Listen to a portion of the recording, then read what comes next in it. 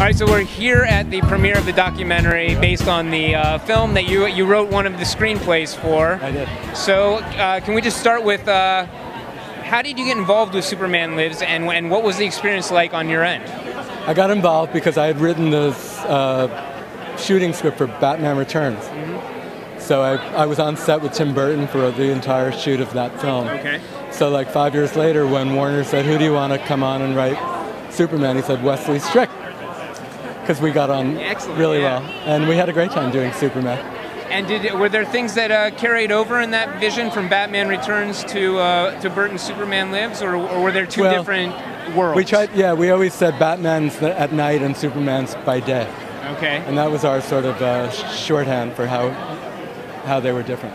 And uh, what did you what did you feel like you uh, brought that was original or unique to the character? Well, I was trying to bring what Tim wanted to bring, which Okay. was the idea of Superman as an alien Okay. from another planet, literally from another planet, from a, a culture and a civilization that had been destroyed. Sort of a man man out of out of his own world, or Yeah, which I always felt is how Tim saw himself. okay, okay. he- and he seemed to relate to that. So there that's how he did it. self-identification going on. Yeah, there's something of the Kryptonian of, about Tim Burton. Sure, sure.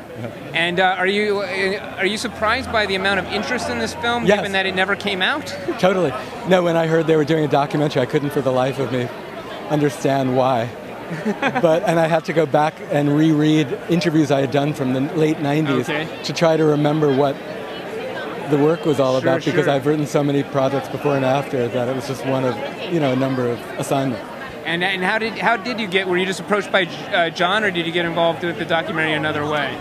Through Jon, yeah. Through Jon. Uh-huh. And uh, all the experiences you had with the documentary, very pleasant.